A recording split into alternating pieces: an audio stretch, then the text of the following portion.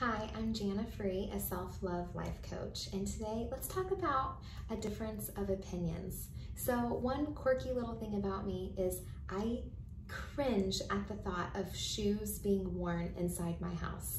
And for some people, they think Janna's crazy. Crazy Janna, we're going to crazy Janna's house and she's gonna make us take off our shoes. Yes, I am, unless you have a foot problem that requires you to wear orthopedic shoes. I'm gonna probably ask you to take off your shoes.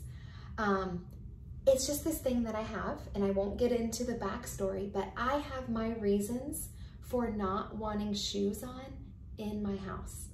And so whenever I start judging someone else and I think they're pretty crazy for that, I have to get myself in check and say, Janna, they have their reasons, just like you have your reasons for not wanting shoes on in the house.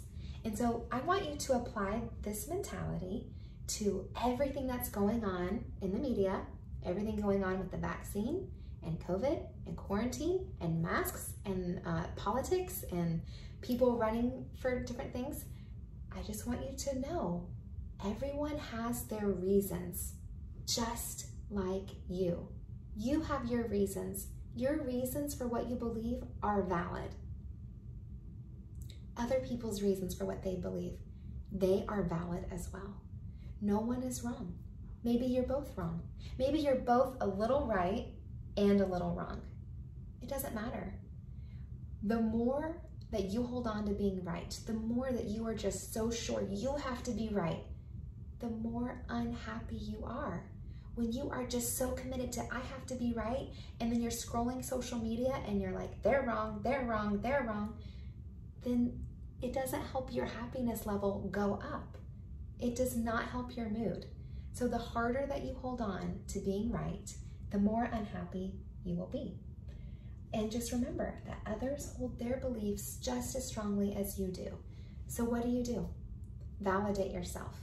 When you feel like no one else understands, yeah, sometimes people don't understand my reasons for not wanting shoes on in the house. but that's okay. I know my reasons. I, I've got me. It's okay. I love me. I love me anyway, even my little quirks. It's okay. When we have our own back and we don't need people to understand. If they do understand, great. That's just cherry on top. But I don't need that because I validate myself. So when you just validate yourself kindly and you're loving yourself first, then that helps you to lovingly accept other people and let them have their beliefs because their beliefs are valid. They hold them just as strongly as you hold yours, and that's okay. And the world still goes round. Crazy, right? If you would like some help to dig into these beliefs that you have, maybe you want to help loosen your grip on them a little bit, that is the perfect job for me as a life coach. I would love to give you a free consultation to see how I can help you more, see if we are a good fit for each other. And you can schedule that at my website, coachwithjanna.com.